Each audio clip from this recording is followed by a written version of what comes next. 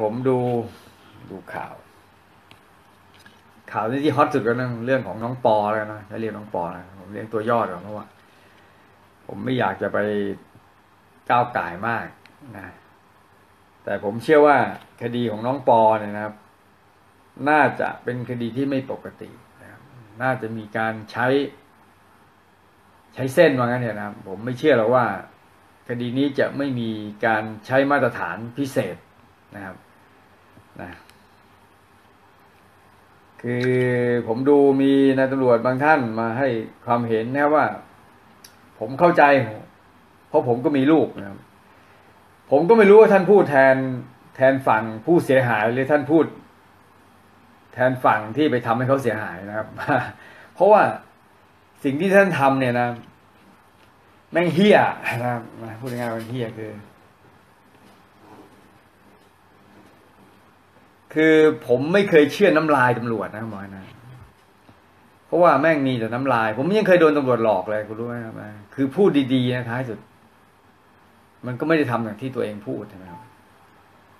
งั้นงั้นผมจะไม่ฟังพวกน้ำลายเหม็นๆพวกนี้หรอกนะแต่ผมจะดูในการปฏิบัตินี้เพราะผมไม่ทำอะไรก็เห็นแล้วว่านะ ผู้ต้องหานะ ถึงสิบแปดคนนะก่อคดีอุกชะกันนะครับ แต่ยังไม่ทันได้สอบปากคำไม่ได้อะไรเลยครับ ก็ปล่อยตัวแล้วนะครับแค่มารายงานตัวมามอบตัวก็ปล่อยโดยที่ไม่มีการประกันตัวประกันตัวนะผมพยายามเช็คนะไปหลายๆที่นั้นก็ไม่มีใครสามารถบอกได้ว่ามีวงเงินประกันตัวไปคนละเท่าไหร่ แต่มาถ้าเกิดเป็นอย่างที่ตามหลักการนะการโทษประหารชีวิตนี่นะครับนะโทษประหารชีวิตนี่ส่วนใหญ่มันมันจะไม่ค่อยได้ประกันนะนะครับ ส่วนใหญ่จะไม่ค่อยได้ประกันนะครับ เพราะว่ามันโทษหนักมากนะครับ แต่นนี้คือประกันโดยโดยที่ไม่สามารถบอกได้เลยว่า ใช้วงเงินประกันเท่าไหร่อะสมมติตีกันขี้หมูขี้หมาประกันสามแสนบาทสิบแปดคนเนี่ยนะสิบแปดคน จะเป็นเงินเท่าไหร่วะเนี่ย เงินที่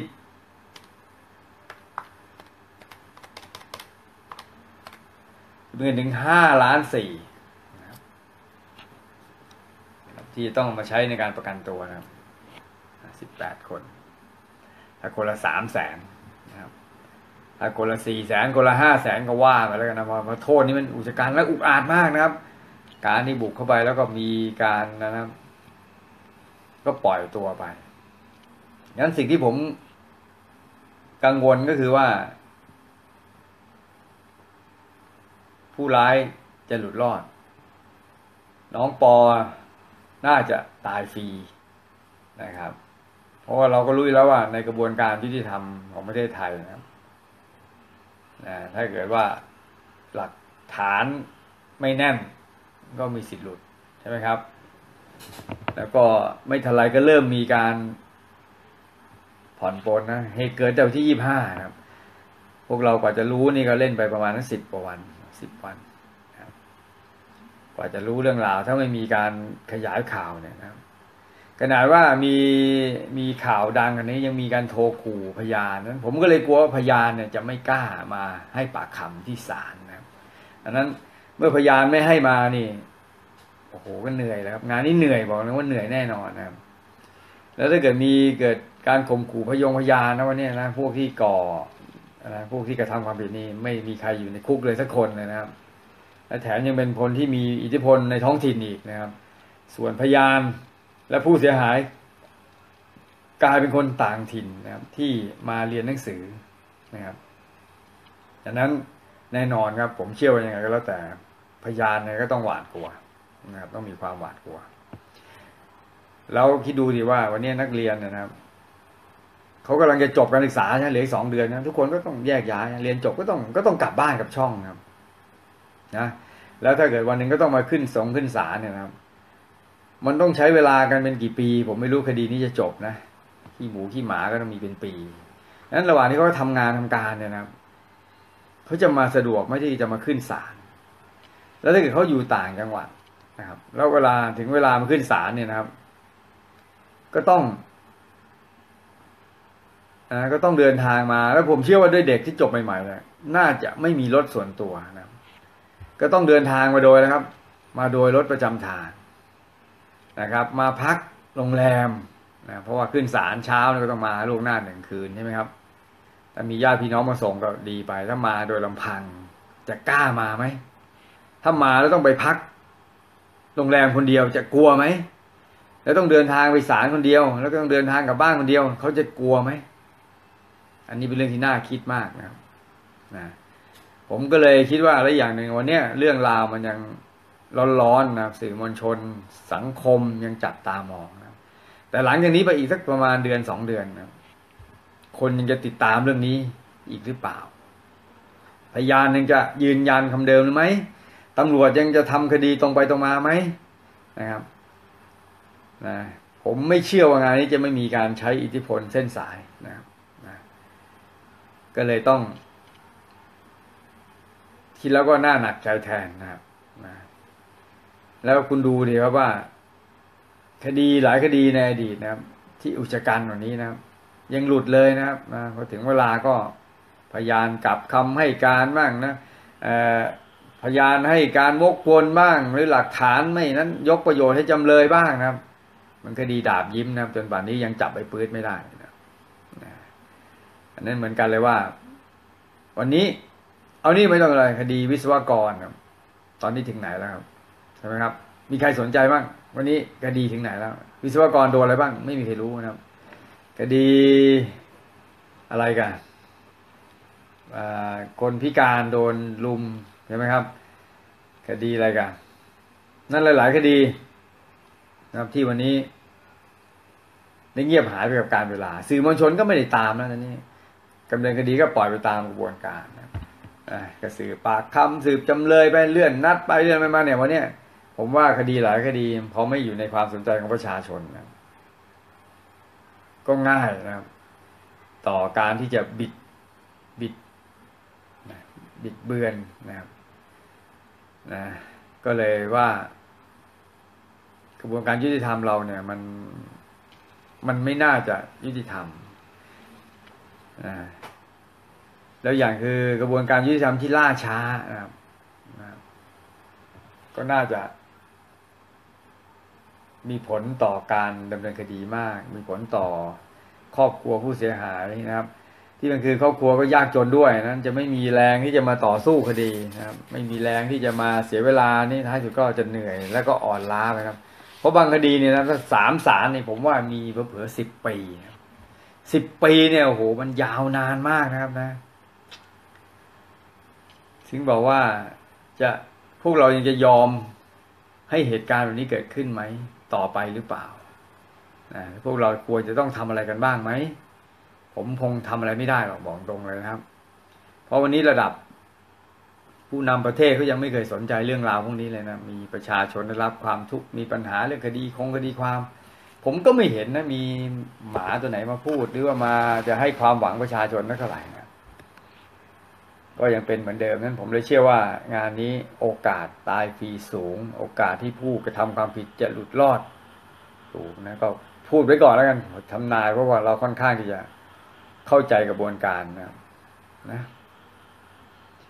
คุณดูดีว่าโอ้โหแม่งคดีนะของคุณเอกใช่ไหมทีมคุณเอกใช่ไหมที่โดนนะนะไม่มียางกันโคนใช่ไหมโดนใบสั่งมาก็ไปต่อสู้ในศาลโดน ค่าประกันตัวหนึ่งหมื่นใช่ไหมแล้วอีกคดีหนึ่งนะแซงขวาไม่ชิดขอบทางซ้ายใช่ไหมแล้วก็ไปปฏิเสธข้อกล่าวหาขอสู้ ก็ประกันตัวห้าหมื่นบาท แต่ในขณะคดีนี้นะครับอุกชะกันมากฆ่าคนตายนะครับ อย่างโหดเที่ยมนะครับอมหิตนะครับอุกอาจนะครับโดยไม่เกรงกลัวต่อกฎหมายบ้านเมืองเนะครับไม่ต้องประกันตัวนะครับแล้วคุณยังจะมาพูดว่าคดีนี้จะให้ความเป็นธรรม คุณยังจะมาพูดว่า ผมเข้าใจหัวอกคนมีลูกใช่ มึงเข้าใจหัวอกของคนที่มีลูกคนไหนวะนะคนที่เสียหรือคนที่ที่ทำเขาสูญเสีย ใช่ไหมครับ ผมนั้นผมเหม็นน้ำลายนะเหม็นน้ำลายคนมากๆเลยที่พูดนะจงเชื่อผมนะครับนะไม่ต้องเชื่อผมด้วยนะนี่ว่านะครับ ให้ดูที่การกระทำผมนี่ว่าผมเป็นคนอย่างนั้น คนพูดดีมันอาจจะปฏิบัติเฮี้ยก็ได้ คนพูดเฮี้ยจะปฏิบัติดีก็ได้นะนั้นผมจะเชื่อการกระทำมากกว่าคำพูดนะครับผมก็ไม่รู้ว่าใครจะมาแก้ไข วันนี้นะรัฐบาลมาจากการไม่ได้มาจากการเลือกตั้งอำนาจเต็มมือมีทั้งม .44 นะมีทั้งอะไรนะไม่มีฝ่ายค้านนะครับ นะ อยากทำอะไรก็ทำได้เลยนะครับ เรื่องที่ควรจะจบง่ายยังไม่จบนะคุณคิดดูเลยครับเรื่องที่ควรจะทำก็ไม่ทำนะเรื่องที่ไม่ควรทำก็เสือกทำนะนั้นผมค่อนข้างหมดหวังนะผมบอกนะว่าผมค่อนข้างหมดหวังกับกับการเมืองไทยแล้วก็การปฏิรูปนะผมว่าคงล้มเหลวนะไม่เป็นท่าแต่วันนี้แล้วนะครับนะเออเนาะ ก็อยู่ที่พวกเราแล้วกันนะ ผมก็คงจะมองเห็นว่ามันจะมีแนวร่วมเกิดขึ้นมากน้อยแค่ไหนก็อยู่ที่พวกคุณนะครับเพราะผมคนเดียวแล้วมันทำอะไรไม่ได้หรอกผมก็แค่พยายามที่จะให้แนวคิดให้ความรู้ เพื่อให้คุณตื่นขึ้นมาแล้วก็เกิดคนแบบแนวคิดคล้ายๆผมเกิดขึ้นมาเยอะๆนะครับขนาดผมว่าผมพยายามนะที่จะทำตัวเป็นคนดีนะครับปลุกกระแสสังคมยังมีคนด่าผมเลยนะผมเรียกว่าสังคมไทยมันมีทั้งคนดีคนเลว นะครับ มันก็ ไม่รู้จะทำอะไรได้มากครับอืมเฮียเป็นนายกเลย ประเทศจะดีขึ้นนะมันก็เป็นเรื่องที่เพ้อฝันนะครับ มันคงเป็นเรื่องที่เป็นไปไม่ได้เลยนะผมไม่เคยมีความคิดความฝันเลยว่า ผมจะมีโอกาสได้เป็นนายกของประเทศนี้ แต่ถ้าผมไม่ได้เป็นนะสมมตินะสมมตินะก็พูดเพ้อเจ้อเล่นดีกว่านั่นนะก็เพ้อเจ้อผมมั่นใจว่านะครับ ไม่ผมตายก็ไอ้พวก คนร้ายตายนะครับถ้าผมมีอำนาจขนาดนี้นะมึงเอ้ยกูจะล้างบางไว้ให้สิ้นเลยนะทำเพื่อลูกหลานนะนะเขาลูกหลานนะคนะคนเรานะครับ บางคนรวยล้นฟ้า ตายหาไปก็ไม่มีใครกล่าวถึงนะครับแต่บางคนไม่ได้ร่ำรวยอะไรมากมายนะครับ ตายไปไปสิบยี่สิบปีคนก็ยังพูดถึงทุกครั้งด้วยความสุข ด้วยความภูมิใจนะครับ แต่มันก็มีหลาย ๆ คนนะที่วันนี้เขาเลือกเขาเลือกเงินนะครับแล้วก็เลือกกับแลกคำสาปแช่งนะหลายหลายคนนะวันนี้แทบจะเป็นหมาตัวหนึ่งนะในถนนนะครับผมไม่รู้เลยคนเรามันมีอุดมการต่างกันเนาะบางคนเลือกเส้นทางที่จะเป็นรัฐบุรุษ บางคนเลือกทางเลือกเส้นทางจะเป็นทรราช บางคนเลือกเป็นนายกขี้กากนะครับนายกสวะนายกน้ำนายกน้ำลายเน่างั้นก็พวกเรานะ ก็รอพวกคุณแล้วกันที่จะลุกขึ้นมาเมื่อไหร่ แล้วก็มาช่วยกันเปลี่ยนแปลงประเทศนี้นะครับ ผมเชื่อว่ามันคงยากมากที่จะมาฝากความหวังไว้ที่ผมคนเดียวนะวันนี้ผมยังเปิด ก็ดีนะมีหลายคนที่เริ่มต่อสู้กับอำนาจที่ไม่เป็นธรรมนะของหน่วยงานรัฐนะ